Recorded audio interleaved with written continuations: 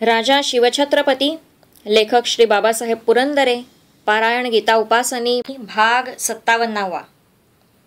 अग्नी आणि पृथ्वी यांच्या धुंद प्रणयातून सह्याद्री जन्मास आला. अग्नीच्या धगधगीत उग्रवीर्याचा हा आविष्कारही तितकाच उग्र आहे. पौरुषाचा मूर्तिमंत साक्षात्कार म्हणजे सह्याद्री. त्याच्या आवडी निवडी आणि खोडी पुरुषी आहेत. त्याचे खेळणे खिदळणेही पुरुषी आहे. त्यात बायकी नाजूकपणाला जागाच नाही. कारण सह्याद्री हा ज्वालामुखीचा उद्रेक आहे. अतिप्रचंड अतिराकट अतिदणकट आणि काळा कभिन्न रामोशासारखा. पण मनाने मात्र दिलदार राजा आहे तो. आडदांड सामर्थ्य हेच त्याचे सौंदर्य.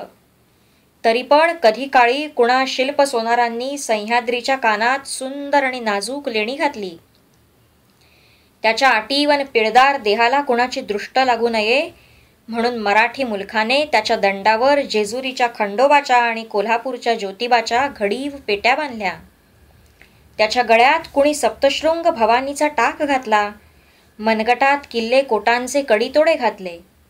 सह्याद्रीला इतके नटवले सजवले तरी पण तो दिसायचा तसाच दिसतो. रामोशासारखा. तालमीच्या मातीत अंग घुसळून बाहेर आलेल्या रामोशासारखा.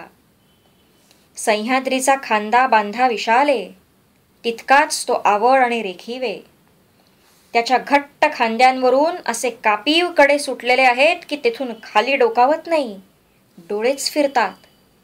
मुसळधार पावसात तो न्हाऊ लागला की त्याच्या खांद्यांवरून धो धो धारा खालच्या काळदरीत कोसळू लागतात. आणि मग जो आवाज घुमतो तो ऐकावा. सह्याद्रीचे हसणे खिदळणे ते.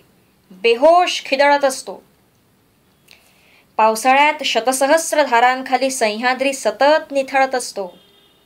चार महिने त्याचे हे महास्नान चालू असते. कावळ्या सावळ्या असंख्य मेघमाला त्याच्या राकट गालांवरून भालावरून आपले नाजूक हात फिरवीत घागरी घागरींनी त्याच्या मस्तकावर धारा करून त्याला स्नान घालीत असतात. हे त्याचे स्नानोदक खळखळ उड्या मारीत त्याच्या अंगावरून खाली येत असते. त्याच्या अंगावरची तालमीची तांबडी माती या महास्नानात धुवून निघते. तरी सगळी साफ नाहीच बरीचशी. दिवाळी संपली की सह्याद्रीचा हा स्नान सोहळा संपतो. त्या हसऱ्या मेघमाला सह्याद्रीच्या अंगावर हिरवागार शेला पांघरतात त्याच्या आडव्या भरदार छातीवर तो हिरवा गर्द शेला फारच शोभतो. कांचनाच्या शंखासुराच्या सोनचाफ्याच्या व बिट्टीच्या पिवळ्या जर्द फुलांची भरझरी किनार त्या शेल्यावर खुलत असते. हा थाटाचा शेला सह्याद्रीला पांघरून त्या मेघमाला त्याचा निरोप घेतात. मात्र जाताना त्या त्याच्या कानात हळूच कुजबुजतात. आता पुढच्या वर्षी ज्येष्ठात मृगावर बसून माघारी येऊ हं? तोपर्यंत वाट पहा. रिकामे झालेले कुंभ घेऊन मेघमाला निघून जातात. दाट दाट झाडी खोल खोल दऱ्या भयाण घळी अतिप्रचंड शिखरे उंच उंच सरळ सुळके भयंकर तुटलेले ताठकडे अस्ताव्यस्त पसरलेली पठारे भीषण अवघड लवणे घातकी वाकणे आडवळणी घाट अडचणींच्या खिंडी दुर्लभ्य चढाव आधार शून्य घसरडे उतार फसव्या खोंगळ्या लांबच लांब सोंडा भयाण कपाऱ्या काळ्या कभिन्न दरडी आणि मृत्यूच्या जबड्यासारख्या गुहा. असे आहे सह्याद्रीचे रूप. सह्याद्री बिकट हेकट आणि हिरवटे. त्याच्या कुशी खांद्यावर राहायची हिंमत फक्त मराठ्यात आहे. वाघातही आहे कारण तेही मराठ्यानितकेच शूर आहेत. सह्याद्रीच्या असंख्य रांगा पसरलेल्या आहेत. उभ्या आणि आडव्याही. सह्याद्रीच्या पूर्वांगास पसरलेल्या डोंगरांमधील गल्ल्या फार मोठमोठ्या आहेत. कृष्णा आणि प्रवरा यांच्या दरम्यान असलेल्या गल्ल्यातच चोवीस मावळे बसली आहेत. दोन डोंगर रांगांच्या मधल्या खोऱ्याला म्हणतात मावळ. एकेका मावळात पन्नास पन्नास ते शंभर शंभर अशी खेडी नांदतायत. प्रत्येक मावळामधून एक तरी अवखळ नदी वाहतेच. सह्याद्रीवरून खळखळणारे तीर्थवणी ओढ्या नाल्यांना सामील होते. ओढे नाले ते या मावळगंगांच्या स्वाधीन करतात. सगळ्या मावळगंगा हे माहेरचे पाणी उंजळीत घेऊन सासरी जातात. या नद्यांची नावे त्यांच्या माहेरपणाच्या आल्लडपणाला शोभतील अशीच मोठी लाडीक आहेत एकीचं नाव कानंदी दुसरीचं नाव गुंजवणी तिसरीचं कोयना पण काही जणींची नावे त्यांच्या माहेरच्या मंडळींनी फारच लाडीक ठेवली आहेत.